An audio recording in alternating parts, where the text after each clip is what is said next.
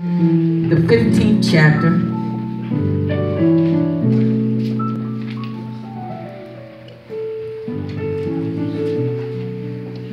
And when you have it, please say, I got it. I got it. And it reads, I am the true vine, and my Father is the vine dresser.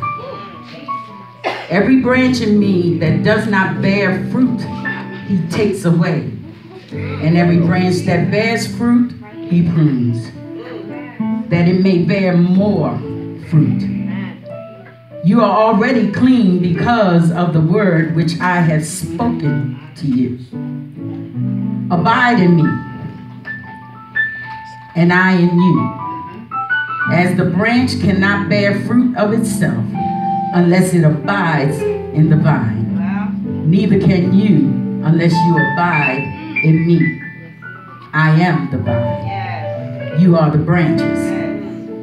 He who abides in me and I in him bear much fruit.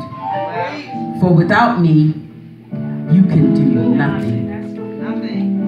If anyone does not abide in me, he is cast out as a branch and is withered, and they gather them and throw them into the fire, and they are burned. If you abide in me, and my words abide in you, you will ask what you desire, and it shall be done for you. By this my Father is glorified, that you bear much fruit, so you will be my disciples. And this is the word of God. And if I was to put a message on this, it would be get connected. Get connected. We live in a day and age where we are connected more than ever with wireless internet, Yep. Facebook, Twitter, and smartphones. And even texting allows us to connect to one another. Right. You can even tour another country and you can get answers to almost anything in a matter of seconds My Lord, my Lord. if Connect. Yes, God. For God's word, now from God's word, we can see another very important connection Come on now, say it. that we need. God uses a low tech illustration from nature to describe this life saving, life giving connection to Jesus. All right. He describes our relationship with Jesus with the relationship that branches have with a vine. All right. And I need you to understand how important each part of the illustration relates to our lives. Amen. Now, in verses 1 to 3, I'll be reading it again. It says, Abide in me, and I in you, as the branch cannot bear fruit of itself. Um, mm, I'm sorry. Oh, devil is a lie. I am the true vine, and my Father is the vine dresser. Every branch in me that does not bear fruit, he takes away. Every branch that bears fruit, he prunes, that it may bear more fruit. You are already clean because of the word which I have spoken. Now, think about how important the relationship between a branch and a vine is. It's really a matter of life or death. All right. All right. As long as the branch is connected to the vine, it will uh-huh. live. Right. Right. Right. Right. But as soon as it is cut off or removed from the vine, huh. It dies. My God. My God. My God. The vine is the source of life. Yes. Alright, alright. It's the vine that carries the vital nutrients that the branch needs to live. My God. Without it, it cannot live. That's just like a, a woman who's expecting. My Lord. Come on now. She's expecting a baby, and that baby is connected to her with through the fallopian tube. Come on My now. Lord. Say it. In order for this baby to live or to grow, whatever the mother feeds herself, it goes to that baby. All right. That's it. That's it. So, in order for the baby to grow up healthy, hallelujah, and to get the nutrients that it needs, the mother has to treat herself. That the mother has to eat everything, do everything that the doctor tells her to All do right, in order for the baby to grow Yeah. and be healthy Yes. in time to come forth. Or, No, that's come- you know what I mean? That's it. That's it. That's it. That's it. And that's what God is saying to us. How is it that we don't eat or don't drink or stay connected to a source of life? My God. My God. But instead, we connect to this and we connect to that. right, right, right, And right. this and that My is Lord, not giving us the life that we need. Right, Amen. Now- That's it. Jesus makes a distinction between two kinds of pruning. All right. One is separating, and the other is cutting back branches. Uh-huh. Now, fruitful branches are cut back to promote growth. If anybody, you know, you know, do any gardening or anything of that sort, um, you have to prune your branches sometimes because weeds, you know, and all that grow around your branch, and it, it will wind up killing. Yes, it will. Your plant. Amen. Amen. Amen. Amen. Okay. In other words, God must sometimes discipline us to Right. strengthen our character and faith. All Yes, right, yes. Hebrews 12 and 6 says, For whom the Lord loves, he chastens. All right, all right. God wants to strengthen us in areas where we are weak. Right, Thank right, right, right. He wants us to experience that abundant life at its very best. All right. But you will not experience the best that God has for you if you are not connected. Right. Right. Amen. Amen. You cannot ask God for this and ask God for that, and you're not connected to the main source. That's it. That's The it. main source, which is Jesus. Jesus. You cannot, you, you, God says He wants to give you life and give it to you more abundantly. That's it. But the only way that you can have an abundant life is that you got to get connected to the vine that is life in order to get what you desire because you can't get it anyway unless you go through that vine. Come on now. Say it. so. I know you're right. Say Now. Thank you, Lord. hallelujah. Now, but now branches that don't bear fruit, and this people ain't gonna like me after this, but that's okay. Preach, Reverend. Say. But branches that don't bear fruit are cut off at the trunk because not only are they worthless, they often infect the rest of the tree. Yeah. All right, all right. Listen. That's it. That's it. People who won't bear fruit for God or who try to block efforts of God's followers will be cut off from his life giving power. Say it. I know you're right. Say it. You know, you. You, you know, the word will be going forth, and I'm not saying it's in Miracle Church, but you have been in some churches, and I'm almost sure you have, where the word is going forth, the life is going forth, and there are texting, People are texting on the phone, or, or someone is really into the word and someone will tap them on the shoulder to talk about something that's not, not has nothing to do with what the word of God says. They are a hindrance.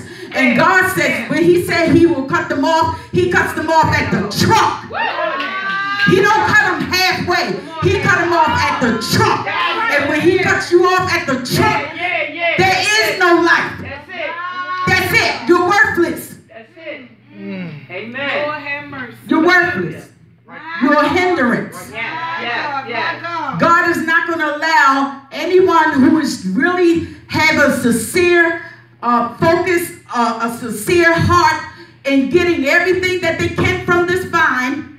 My Lord. He will not allow anyone to interfere or be a hindrance for that person in order to grow. Come on This person is hungry. This person is thirsty.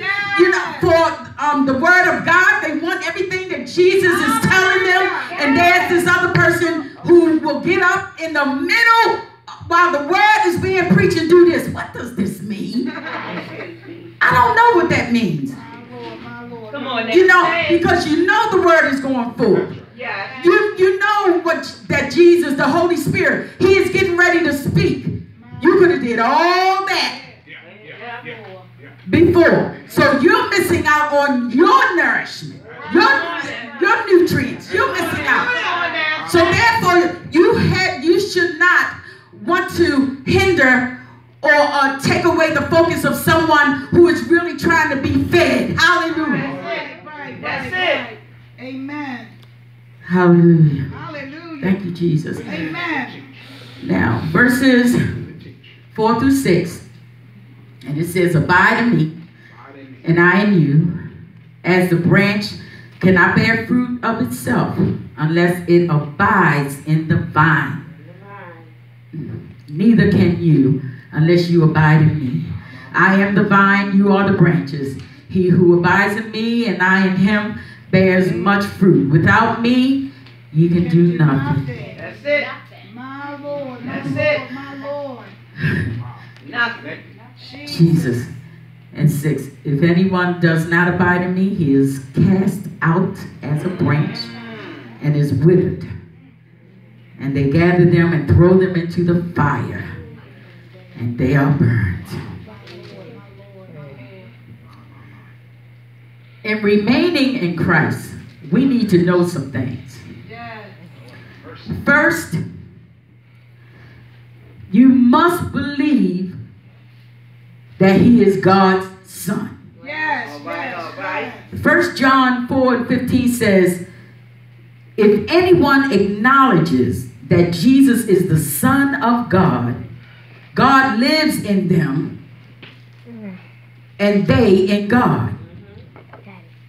Know who you are connected to. Amen. That's it. That's The only way that you um, will come to the knowledge of believing that Jesus is the Son of the living God is that you got to be connected. Gotta be connected. Thank you, Lord. Second, receive Him as Savior and Lord. This man has done so much. He gave his life. Yeah. my, my. Work You couldn't take the beatings that he took. That's it. Oh, Jesus, use me, Holy Ghost. Come on now, say it. You could not bear the crown of thorns that he bare. That's it. You couldn't deal with the piercing in the side. My Lord, my Lord, my Lord. You couldn't deal with the nails in your hands and in your feet. That's it. My God, my God. Hallelujah. He loves us so much Yes. that he took on all that so that you could connect to him, That's it. Get all your, your life. So he gave us a very good of example of true love. Yeah. Lord, Lord, That's my Lord. it. True love. Hallelujah. And we won't find it here, Come on now, but we will find it in the vine. Come on Right, now, my preach. God. my So get connected. On connected. Third, do do what God says, do what He says.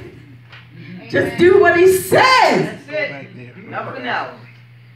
Do what He says. Come on now. He has a work for you to do, so do it. Do it. it. Just do it. In order to do what God says, you got to hear His voice.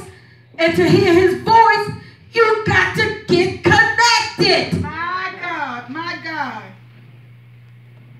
Yes. John 14 and 6 says, I am the way Have the way. and the truth Yes. and the life. Come on now. Say it. No one comes to the Father except through me. So the only way that you're going to get anything that you need is you got to get connected to the vine to get what you need from the gardener, which is God. Hallelujah. Hallelujah. That's it. Yeah, yeah. Preach. That's why we as God's church need to connect to the vine, which is Jesus Christ. And in doing so, we will begin to bear the fruit that God desires for us to have. You know the fruits, y'all. Love, joy, joy, peace. Patience, kindness, goodness, faithfulness, gentleness, and most of all, self-control. Wow. And I know it takes a lot to have self-control. Because even in the church, you want to lose it. I know I'm right. Because even in the church, you say, Lord, please hold my tongue. Lord, forgive me for that thought I just did. Uh, Father God, yeah, I spoke to her, but she didn't speak back to me. But Lord, please, Lord, lead and guide me. Holy Spirit, bright on my tongue. Yes, yes. Keep it moving. My Lord, my Lord. Self-control. Yes. Woo! Yes, Hallelujah. That's it. Yes, Lord. And as you connect to Jesus, guess what, y'all? You can love others in your life with, with patience when they try you. Oh, Act on something. Somebody say, get connected. Get connected. Go. Because the only way that you ever going to deal with anybody is that you got to be connected. Because the only way that you're going to deal with someone who's plucking your very last nerve, whether it be at work, whether it be in the church, whether it be at home, hallelujah, in relationship, you got to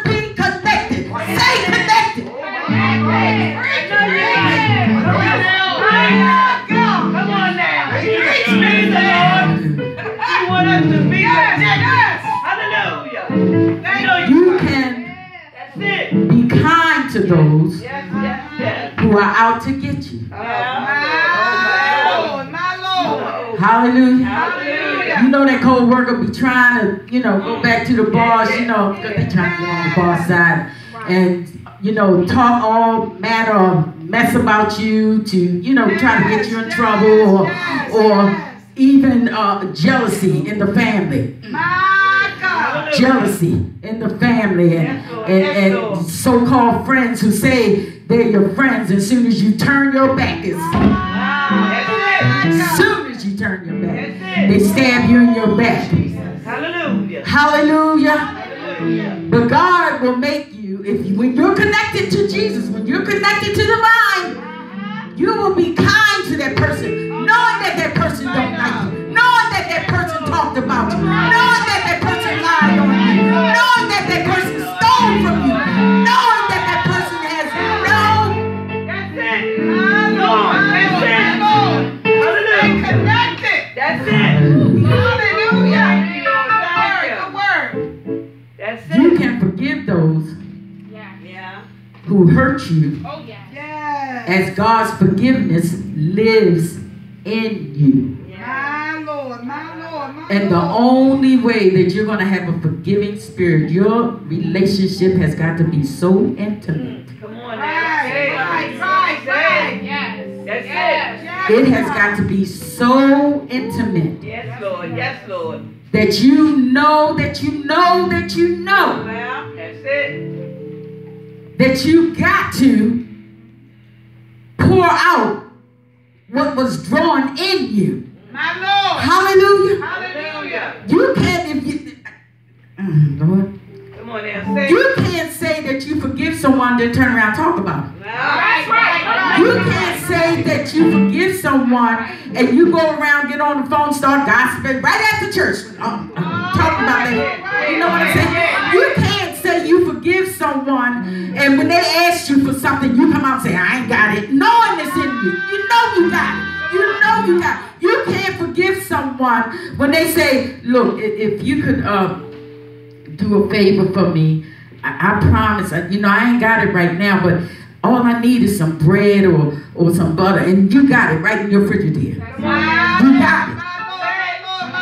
That's it. So you know you can't, there's no way you are connected to the vine, connected to Jesus Christ, have that kind of intimacy with him, and do not do what he tells you to do. He says, love those the way you love yourself.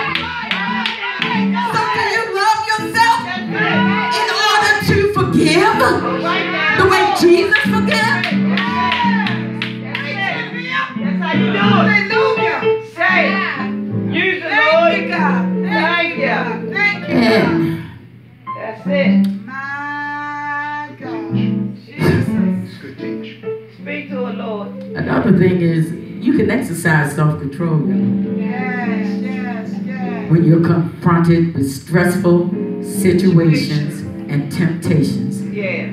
with God's strength. Yes. Yes, yes. And I'm a witness. Yes, Lord. Yes, Lord. Amen, amen. You can have self-control Yes. when you're constantly seeking Jesus. Bible says, seek ye first the kingdom of God and his righteousness. His righteousness. His righteousness. Not yours, his righteousness. That's it. Hallelujah. Come on now. You can have self-control.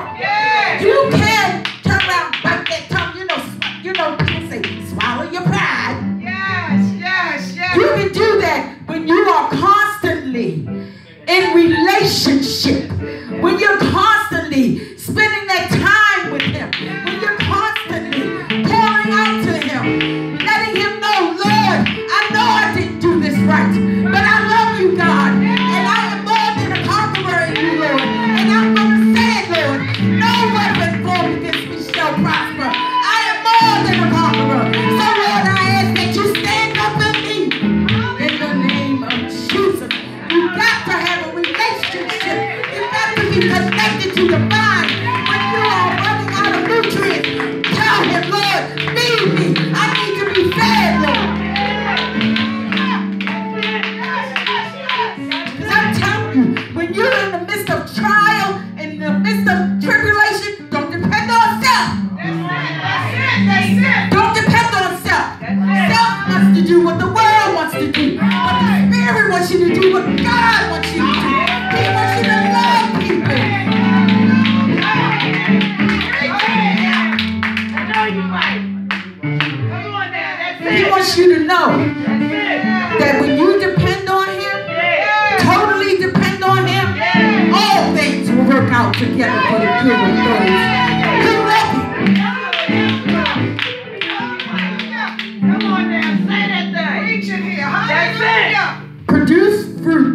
Shows your produce fruit. It shows your faith is alive and well.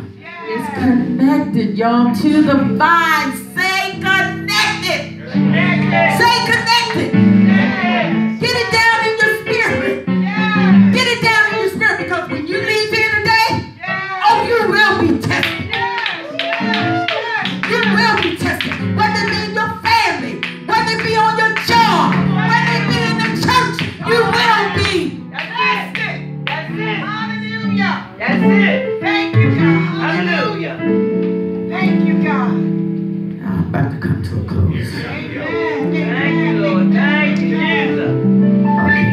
Verses 7 and 8. Yes, yes. If you abide in me, mm-hmm. and my words abide in you, you will ask what you desire, and it shall be done for you. By this my Father is glorified, that you bear much fruit, so you will be my disciples. Amen. Amen. When a vine bears much fruit, God is glorified. Yes. For daily he sent the sunshine, the rain to make the crops grow, and constantly he nurtured each tiny plant to prepare it to blossom. What a moment of glory to God. My Lord, my When the harvest is brought into the barns, matured and ready for use. This farming analogy shows how God is glorified when people come into a right relationship with Him and begin to bear much fruit. Because I'm telling you, when you are connected to the vine and you begin to mature in Him, you will bear fruit. Hallelujah. You will, because the more that you bear, um, um, the more you stay connected to the vine, the more you, uh, that relationship between you and Jesus will begin to grow and mature in each other. And things that you used to do, you won't do no more because they don't taste right anymore. So you begin to love what Jesus loved and do what Jesus do think the way Jesus think. Hallelujah. So, in my closing, I want you to think about this. Yeah, yeah, yeah. Yeah. As God the Father continues to prune you in this life, may that all important connection produce great fruit of faith and thanksgiving while you're connected to the vine. So take the time out and ask yourself, am I truly connected? Am I truly connected to the one that's giving me life?